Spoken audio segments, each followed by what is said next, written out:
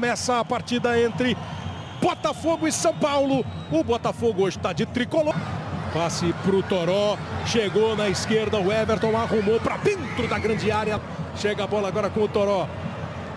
Toró rolou, cruzamento para dentro da grande área. O jogador do Botafogo aponta que foi desviada a bola pelo Fabinho. O árbitro, bola ao São Paulo com o Luan. Vai embora, bateu pro gol, não pegou realmente em se mexe o Shailon. Boa bola do Shailon. Tem chance o Brenner. Arrumou para dentro da grande área. Vamos ver só o Toró fazendo essa jogada. Caiu, levou por dentro, ameaçou bater pro gol. Pega. Eu ia dizer que. Do Botafogo de Ribeirão Preto. Exatamente.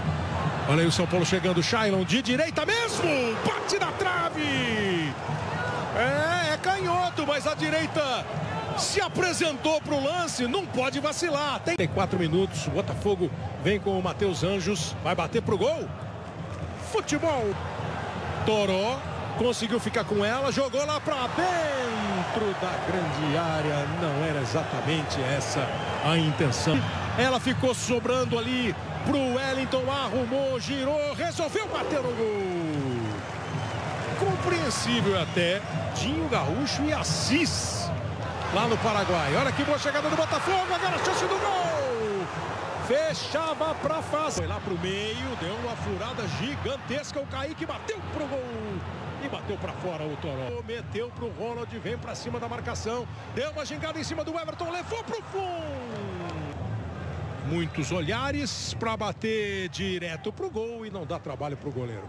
Vez pro Botafogo com o Kaique. Vai sobrar sem querer pro Ronald, ficou na cara do gol. Volpe! Com o Gilson.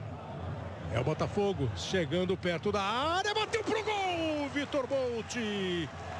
Essa saiu em velocidade, hein? Foi o Botafogo. Vai ao ataque na cobrança do escanteio. Toque de cabeça pro gol! Gol!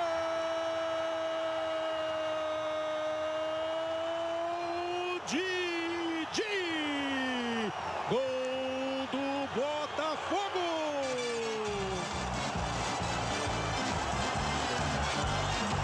Clara a possibilidade.